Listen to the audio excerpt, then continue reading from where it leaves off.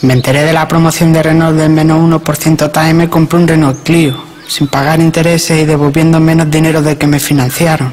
Lo que no tuve en cuenta es que tengo cuatro años y no lo puedo conducir. Pero bueno, me entretengo abriéndolo y cerrándolo. Mira las luces. ¿eh?